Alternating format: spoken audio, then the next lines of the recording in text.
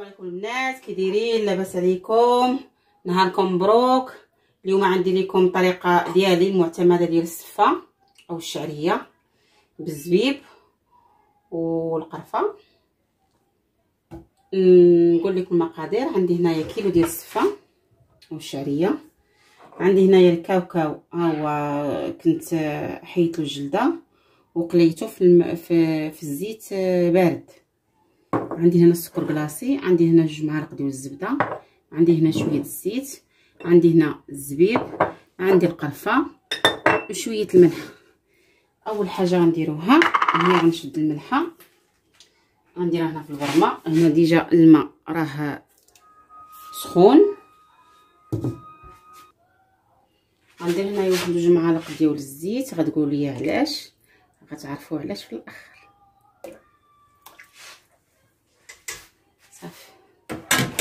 هنا غنشد السفه غندير هنا في قصريه راه رقيقة.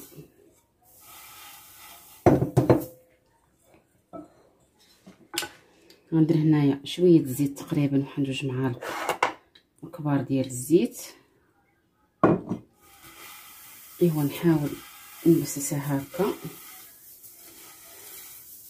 ونديرها فوق البرمة. لمدة ربع ساعة المكانه اللي تفور فيها.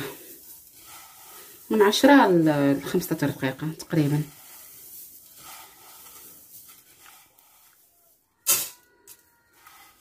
ندير هنايا في الكسكاس.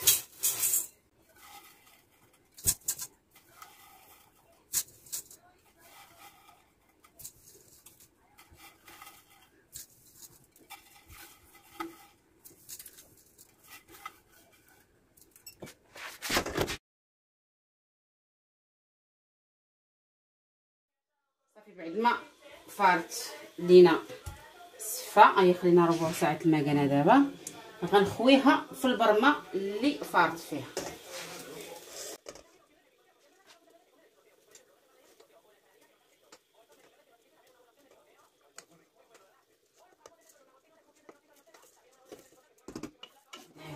صافي بعد ما دابا درناها غنخوها دابا في الكسكاس. تصفى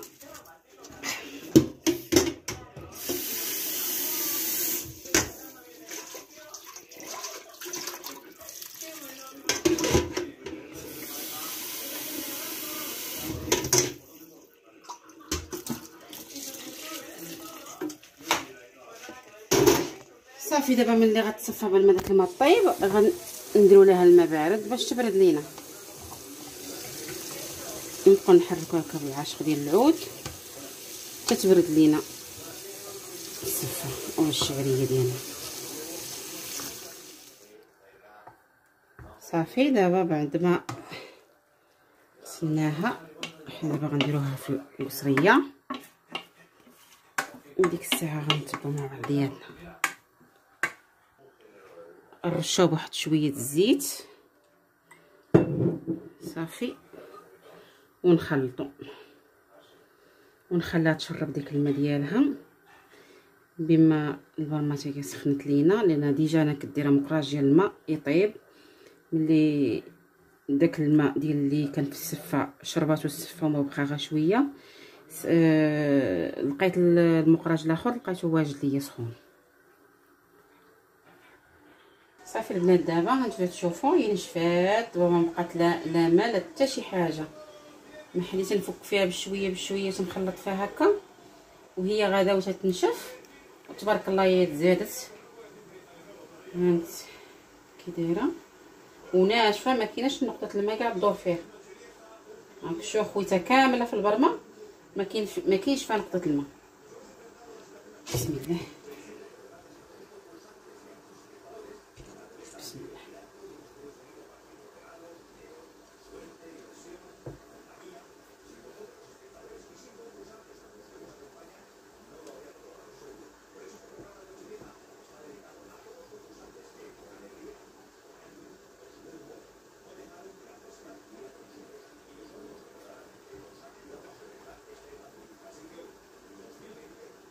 صافي وردوها دابا كتفور للمره الثانية فارت دابا غنحلها نفرتكها.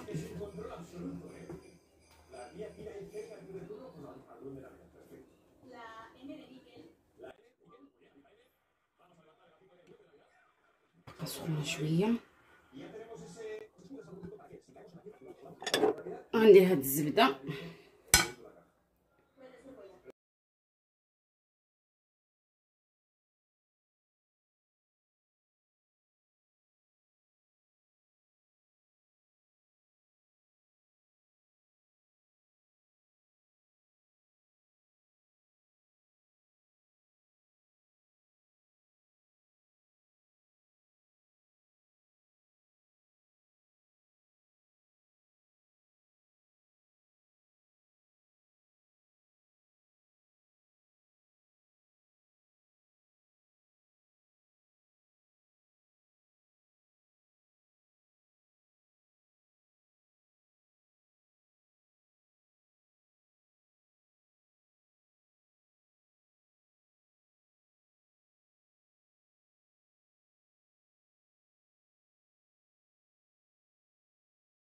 صافي دابا بعد ما حلينا السفه دابا غنزيد عليها واحد جوج عواشق ديال العسل في بلاصة السكر كلاصي اختياري كاين اللي بغى يدير السكر كلاصي يديرو اللي بغى يدير العسل إيه هو حر.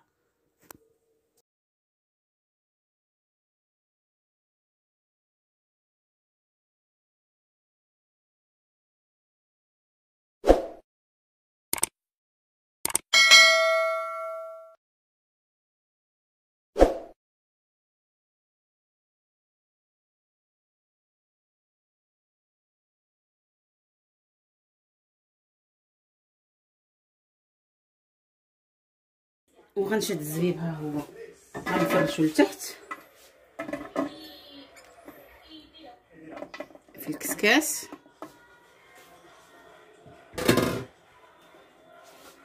نخلط هاد الشعرية بالصفه دابا بقات الشعريه ولات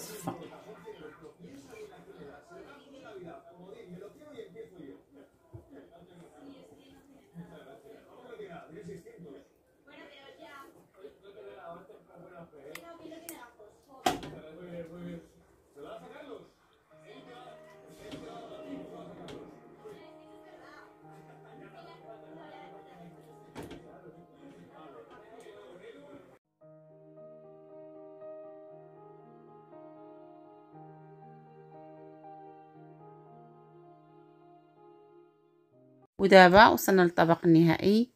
ذوقته بالكاوكاو والقرفة والمشماش. شهية طيبة وإلى حلقة قادمة إن شاء الله. بالصحة والراحة. تبارك الله عليكم. مع السلامة.